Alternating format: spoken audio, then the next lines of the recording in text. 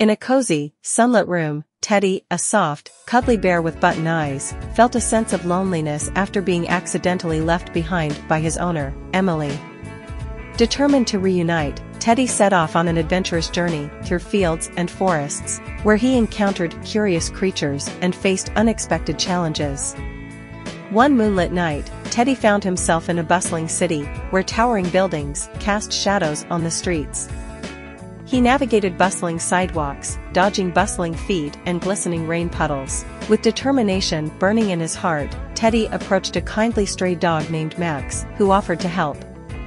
Together, Teddy and Max braved the city's challenges, from navigating bustling traffic to facing towering obstacles.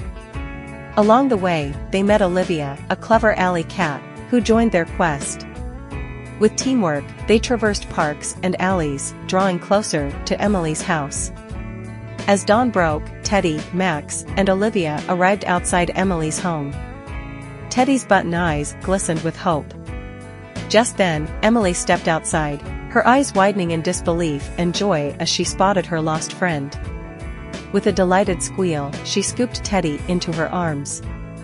Back in the warm, sunlit room, Teddy knew that every step of his thrilling adventure had been worth it. The friends he made and the challenges he overcame had not only brought him back to Emily, but had also filled his heart with stories that would be cherished forever.